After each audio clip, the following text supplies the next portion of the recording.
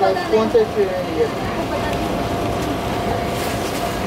नहीं हमें दादी के लिए लोग बोल थे। कि बच्चे वगैरह के पास हम पढ़ाते बहुत अच्छा है कल वो एक ही क्लास में बच्चों को क्लास में